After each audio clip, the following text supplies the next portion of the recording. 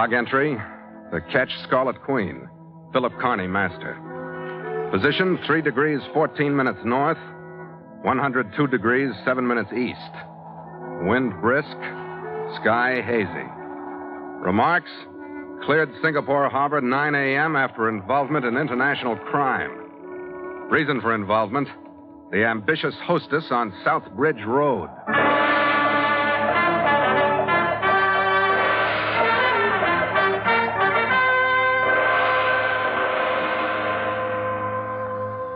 We laid over almost a week in Singapore.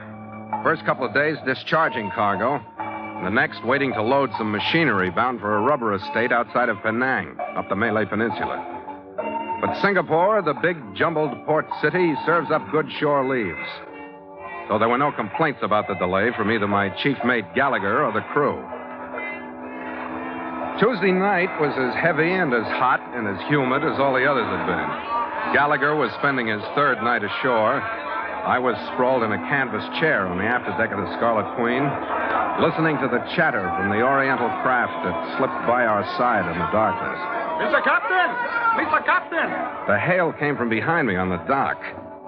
A young Chinese boy stood at the head of the gangway. You, Mr. Captain, all right? Yeah, what do you want? I bring paper for Mr. Gallagher. Oh, you mean a note? All the same paper I have here. All right, come on aboard. All the same paper. Yeah, yeah, paper. Thanks. The note from Gallagher was in a hasty scrawl. Skipper, it said. I'm in room 204 at the Continental. I'm in big trouble. Bring 45s. Red.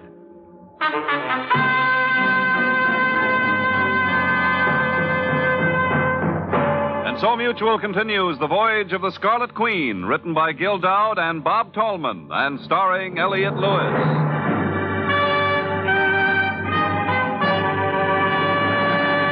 The Scarlet Queen, proudest ship to plow the seas, bound for uncharted adventure. Every week, a complete entry in the log, and every week, a league further in the voyage of the Scarlet Queen.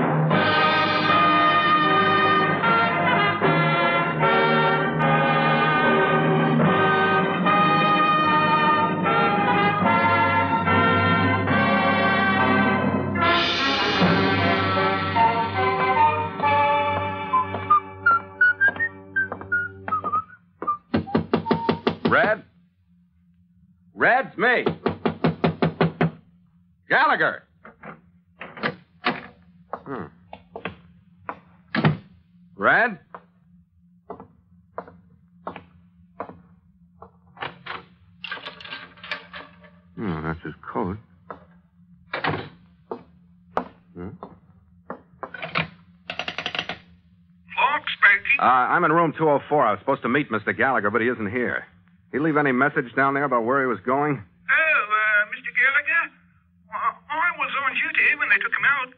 Who took him out? The two gentlemen, sir. It seemed that Mr. Gallagher had been uh, injured, and I believe they was taking him to an hospital. Where? Didn't mention what one. Yeah, thanks a lot.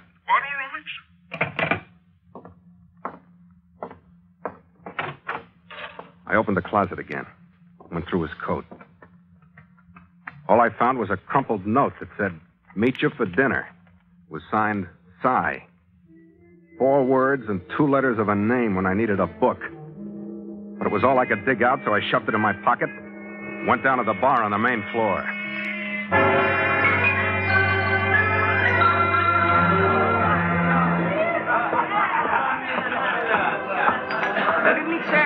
What you like? Uh, some of the American will do, I guess. Straight. Very good, sir. Very good drink, all right. Yeah. Yes, sir. Oh, thank you. Thank you very much. No, sir. wait a minute. I'm looking for a friend of mine, a big red-headed guy. Been staying in the hotel for three days. Big. Oh, this store, maybe? Yeah, you know him? Oh, yes. Uh, he coming here all the time. But he not here now. Yeah, I know that. Wait a minute. What? Did he ever have anybody with him when he came in here? A friend? Somebody named Cy? Uh, friend, he come with his seller, too. Yeah? He from American ship. I hear them talk about um. Frisco in America. What ship was he from? Oh, freighter. It, uh, you know, steel traveler? Steel Traveler? Uh, I think all right. Thanks, Charlie. Here. Oh, thank you very much. I'll see you later.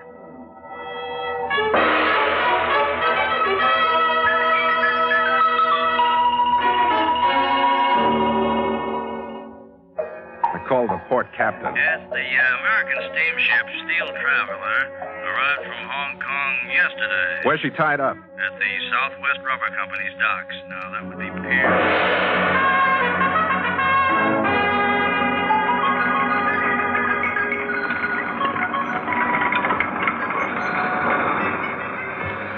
They were working cargo when I got there. Big bales of rubber were swinging from the dock and disappearing into the big holds of the ship. A pint sized tow headed gangway watch looked up from a pulp magazine when I came aboard. How are you? Uh, mate, you know a crewman aboard here named Cy? Cy Adler? Yeah, why? I'm looking for him. Cy's dead. What? Yeah, they found him in an alley ashore this morning. He'd been knifed. You know how Singapore is sometimes. Yeah, yeah. Uh, how about his gear? Still aboard? Yeah, I guess so. I'd so. like to look it over, see if I can dig up something to start from. I want to find my chief mate. He was with Cy ashore. Now I can't find him. Uh-uh, no, I guess you better not. Now, look, you can frisk me when I leave. I don't want anything. Uh, here. Here's 10 American. Well, all right, go ahead. His quarters are down the ladder just inside. There's a second one to starboard. Check with me on the way out. yeah, huh? okay, mate. Thanks.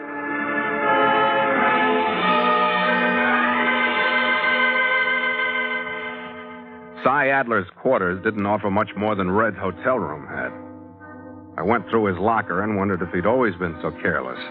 It was unlocked, and on the top shelf in a cigar box there was a stack of crisp, new U.S. $50 bills that would have tempted his best friend. Stuck to the inside of the locker door, there was a picture of a girl signed, With all my love, Gina. In the photograph, she looked beautiful enough to give the words meaning. From her high cheekbones, the shape of her eyes and mouth, the style of her dark hair, I tagged her for Eurasian. In a shirt pocket, I found two bar checks with Cy Adler's signature on them. They told me that he was well enough known at a place called Conover's Bar on South Bridge Road to rate a charge account. That was the best lead I could find.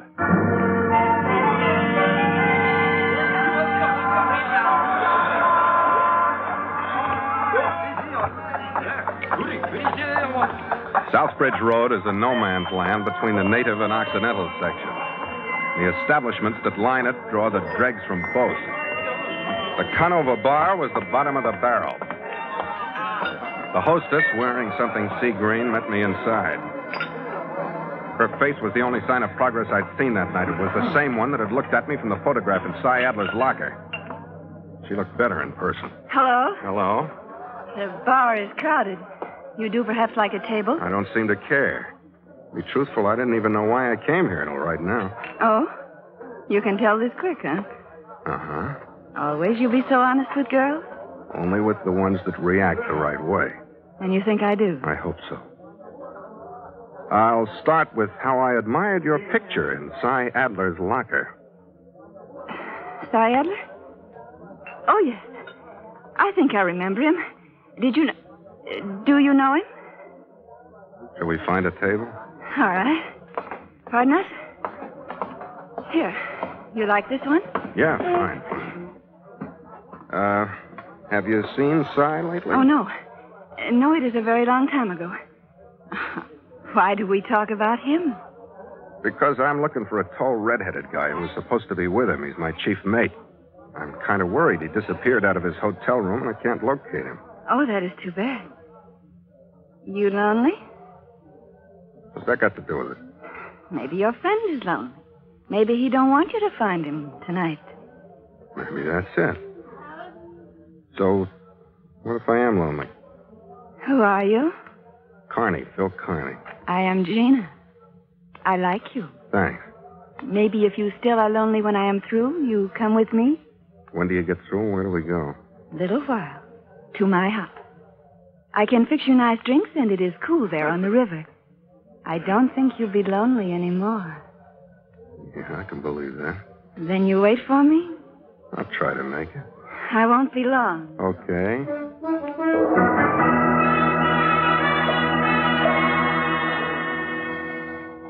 Her house overlooked the Singapore River. The lights of the boats below flickered like fireflies, and the silence after the din of the Conover bar was peaceful. You sit down, Phil. I come right back. All right, Gina. She moved through some soft reed drapes that whispered after her. When she came out, she was wearing something that wasn't sea green. And a heady scent swirled around her as she stood there smiling at me. She was a good actress, even with the dangerous lines. You sit down now. Over here with me. Mm-hmm. Oh, oh, your guns, Phil. They will be uncomfortable. You're really observing, Gina. You see a lot. Oh, working on South Bridge Road, that is the first thing we notice about a man. But here you can relax, Phil. All right, Gina. I do feel better here. I help you with your coat. Yeah. I hang it here. And you can put your guns on the table if you want. Oh, that'll be fine. Ah, you are more comfortable. I tell you, it was cool here on the river. You're not lonely anymore, are you? Oh, you've taken care of that very nicely. Oh, but I tell you, I will fix you nice drinks. Do you want drink, Phil? No, not especially. I know you would say You that. want one? You know, too, what I will say. No, I don't want to drink, Phil. See all the lights on the river? The boats? I'm not looking at them. I saw them. People live out there. But who cares? Mm-hmm. Oh, Phil.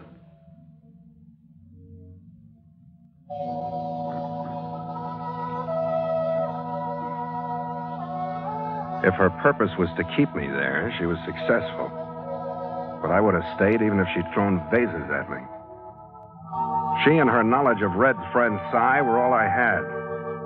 And she'd slipped back at the bar. I was sure of it when she started to say, Did you know Cy? Instead of, Do you know him? Well, her act was good. I tried to keep mine the same, even 15 minutes later when we heard footsteps. The door opened. She moved away from me as though she'd been burned, scooped up my 45s, and met the two men who came in. Well done, Gina. You're a good girl. What is this, Gina? You didn't warn me you had friends who don't knock. It's quite informal hereabouts, Connie. We come and go. Connie? Well, in that case, maybe I'd just better go. No, you don't, Connie. Doan, move over into the corner and keep an eye on him. I'll watch him. Remember me, Connie, in case you start a move. Why should I move? As a matter of fact, why should I be muscled around by you guys? Uh, perhaps you'd better sit down, Connie. In the chair over here. Uh-huh. I had hoped that you would show a bit more intelligence than Gallagher. I don't know what you're talking about. he doesn't know what we're talking about, Gina. Well, He does. He went to Cy's ship and he came to Conover's looking for Gallagher just before I talked with you on the telephone. what do you say to that, Connie? Don't breathe in my face.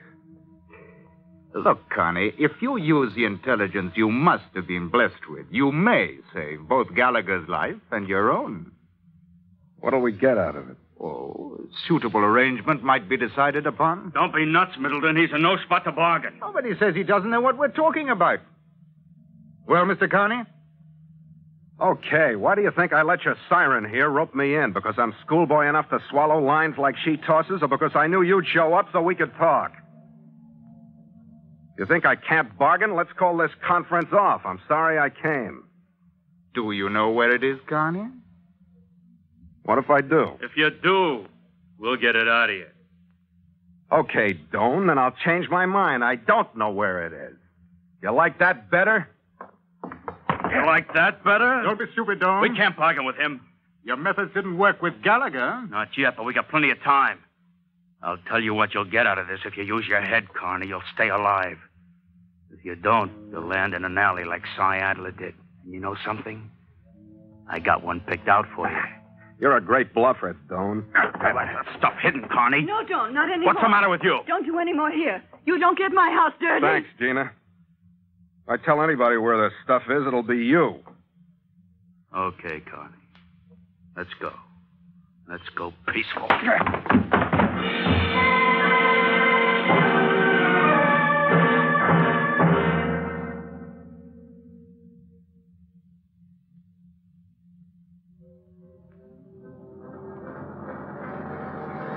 came back far enough a couple of times to realize I'd been tossed into the back seat of a car. A car that was going someplace. The third time I was out of the car and on a wooden floor, someplace where I could hear the harbor. When my eyes had been open long enough, I made out the crack of light around the door. Then I got to my feet. Stumbled over a body. Red! Red, come on. Come on, Gallagher, come on. It's me, Red. I'm a little late, but I finally got here. Who? It's me, Red. Come on, snap out of it. Skipper. Yeah, Skipper. Oh, that. That dome. Yeah, Red, I know. Come on, let's try to make sense, shall we? Skipper. How the devil you get You sent me a note, remember? Yeah. Ten years ago. Oh, that Doan worked me over again when they brought you in. What's behind it, Red? What about your old shipmate Adler? Yeah. He was mixed up in something. Or whatever it is they're looking for. it. You and I are supposed to know where it is. Do you? Sure, I know where it is. You do? Sure. I hid it. It's in a house by the river. Belongs to a dame named Gina. Well, why don't you tell him where it is then? Why in blazes do you get us messed up like this? What is it anyway? I don't know. It's wrapped in brown paper, and I didn't open it, but I heard him talking about it. It's the motive for Cy's murder. Yeah. They're trying to frame me with it, and then with all the witnesses that saw me and Adler together, it's going to take a better story than mine to talk me out of it. What is your story? Try it out on me. Well, I ran into Cy Adler yesterday after his ship docked. We had a few drinks, and then I met him last night at the hotel. Yeah, I found the note he sent you. That's what put me on your trail. Well, he had this bundle with him. He was a little late, and he had to go back to the ship. So, to speed things up for dinner, he asked me if I'd run this important bundle to a place called Conover's Bar. Yeah, on South Bridge Road. Lovely place. The only one I was supposed to give it to was Gina. So? Well, she wasn't there, so I found out where she lived. She wasn't there either. So I got halfway back with it, and a young Chinese stopped me with a note from Cy telling me to get that bundle out of sight or he was a dead duck. So I took it back to Gina's and hid it. You're a great boy, Red. Oh, how was I to know it was so hot? Oh, where I made my mistake was in keeping Cy's note. Middleton and Doan found it, and it, well, it made my lies sound weak. But it's better than one of those Singapore murder trials. Not for me, it isn't. Come on, let's take a look at this door. Why, you're wasting your time, Skip. Wait a minute, Connie. I'll unlock it for you. Who in the devil's that? I didn't recognize the voice, but I did recognize the towhead after the door had opened. It was the pint-sized gangway watch I talked to on the Steel Traveler. He walked in with a revolver in his right hand and snapped on the lights with his left. Ah, small world, huh, Connie? You got a couple of sweet-looking faces, both of you. Didn't think there was room enough in this deal for anybody else. Yeah, where do you fit? I guess it doesn't make much difference. I'm looking out for myself. Maybe I can help you boys. What do you want? Don't be coy, Connie. You know what I want. You forget too easy, like Middleton and Doan. We don't know where it is. Well, that's too bad. Why is it too bad? What do we get out of it if we deal with you? Oh, I could hold the other two off of you. Where are they now? Down on your ship. You think they'll find it down there? Would I be here talking to you if I did? Why don't you boys get smart? Now, there's a way out of this for the three of us. Say, Redhead. Couldn't believe it when he turned his back on me, but I didn't take time to think. He made a few steps toward Red, and I rushed. All right, he'll stay there for a while. Pick up his gun, Skipper. Let's get out of here. Right.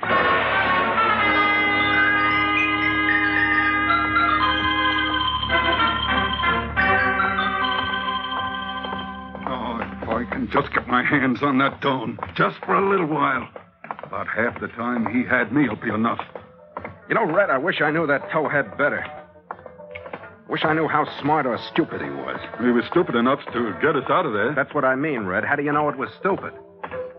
Maybe they figured we'd head for that package. Maybe they fed the towhead to us so they could follow us. Yeah. Well, before I fold up, I want to see that motive put someplace where it'll cool off.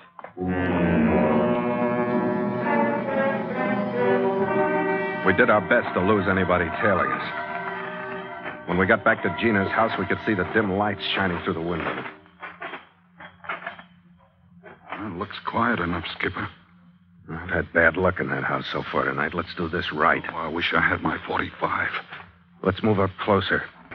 She's alone. We'll keep going right on in. I'll take the door first. You come in a few feet behind. Right. Skipper. Oh, let's try it.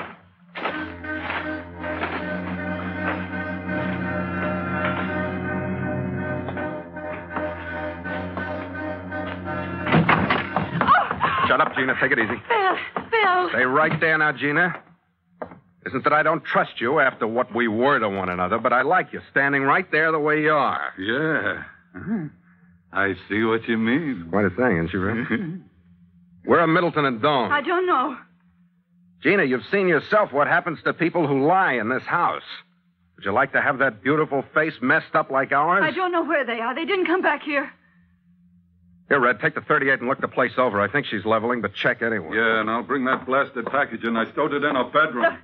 What do he say, Phil? What do he say? The stuff we've been arguing about, gorgeous. You lied to me. You don't tell truth to me. That's been a little hard for me to believe, too. No, Phil, it can't be here, not all this time. You know, maybe the attraction we found for one another would have lasted longer if we'd known. How gorgeous? Well, here's the motive, Skipper, wrapped like a birthday present. That is mine. Please, Phil, that is mine. All right, hold it, Gina. We're all excited about this. We'll open it together. Go ahead, Red.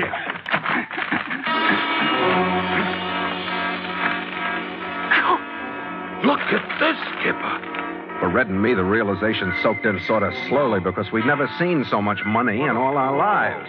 They were the same kind of bills I'd seen in Cy Adler's locker, U.S. 50s. There were 50 bundles of them. 200 bills in each bundle. There was motive enough for a dozen murders. How do you like that? you can't say we don't pick 'em with money, Skipper. Yeah, counterfeit or not. Let's talk, shall we, Gina? Where'd this stuff come from? The money they are made in China. Cy brought them here. Middleton, he was going to take them to America, but Cy stole them to take to America himself. He was bringing them to you, beautiful. Weren't your shapely little fingers in the pie someplace?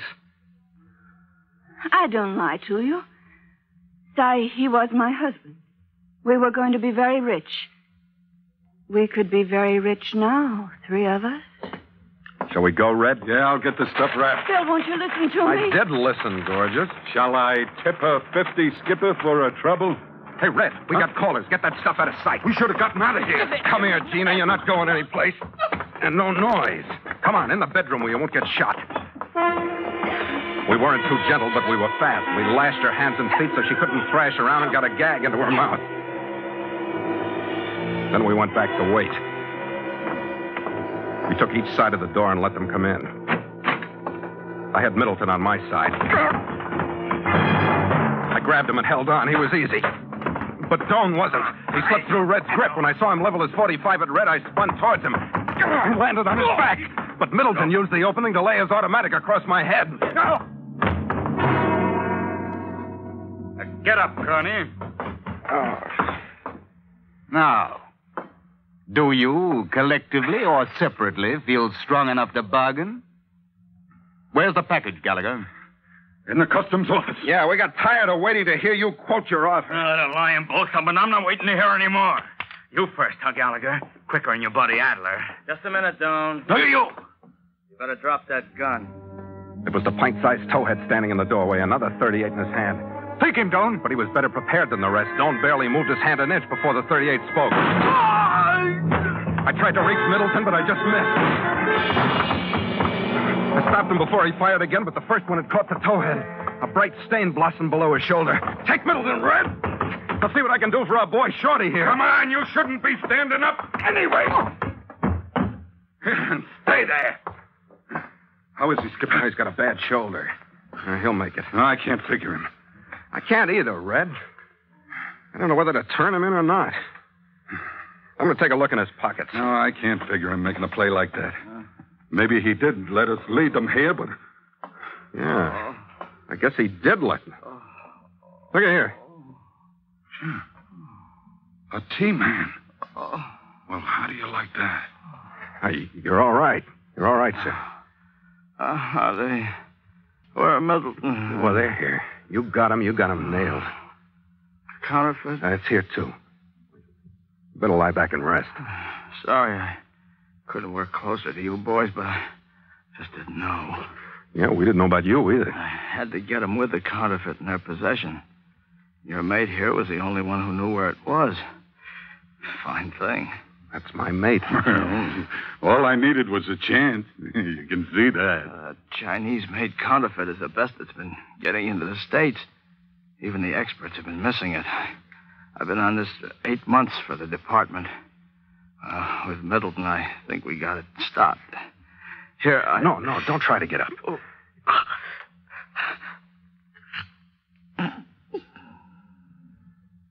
He's got too much guts for his build. Go call the British Customs Office from someplace. Will you, Red? I'll stick around. I want to see that our Treasury Department doesn't come out on the short end of the credit for this. Wait till Washington hears what I tell him about this bantamweight.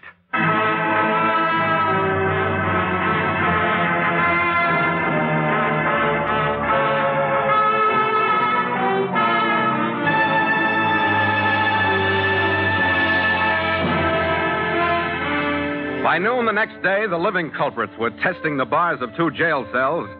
Doan was trying out the Singapore morgue, and the pint sized towhead who turned out to be a giant named Kemper was resting easily in a hospital.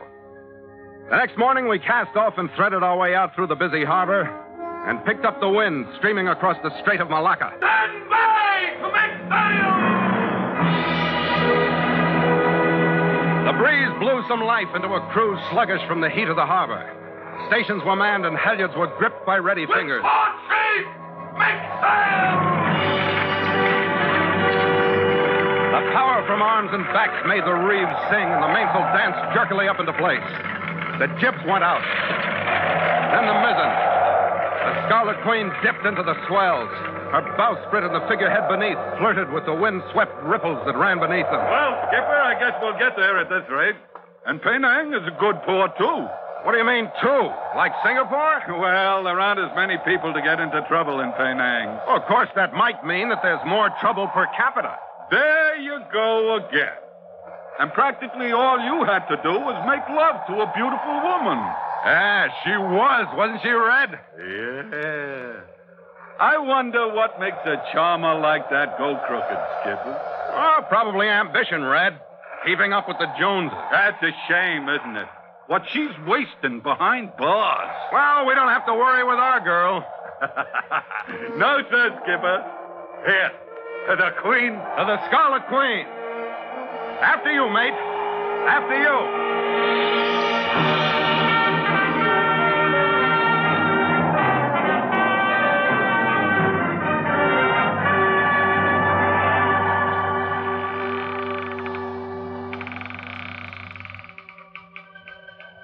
Log entry. The Ketch Scarlet Queen. 5:30 p.m. Wind brisk, sky hazy. Carrying full sail. Ship secure for night. Signed, Philip Carney, Master.